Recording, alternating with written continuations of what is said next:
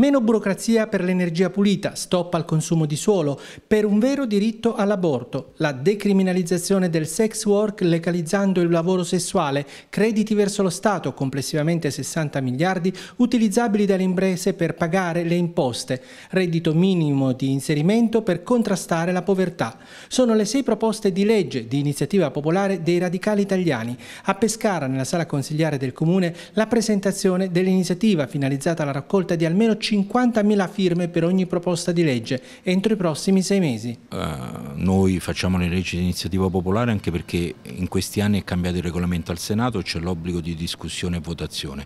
Dopodiché noi partiamo da un presupposto che è quello storicamente radicale, cioè che la politica non solo si fa all'interno delle istituzioni, ma come dice la Costituzione lo si fa anche tra i cittadini attraverso i referendum e le leggi di iniziativa popolare.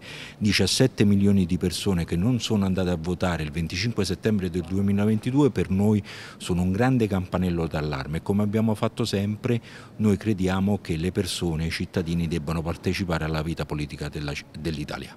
Falla fuori la legge Italia, lo slogan scelto per la campagna dei radicali italiani. I temi sono così importanti eh, che crediamo che possano interessare alla maggior parte dei cittadini italiani. Vedremo tra dicembre e gennaio quante firme avremo raccolto, ma noi siamo sicuramente ottimisti anche perché c'è la possibilità di firmare online attraverso il sito radicali.it slash firma. Purtroppo è a pagamento perché governo, i governi non hanno attuato quello che dice la legge, cioè la piattaforma eh, pubblica eh, che ancora non c'è dopo un anno e mezzo.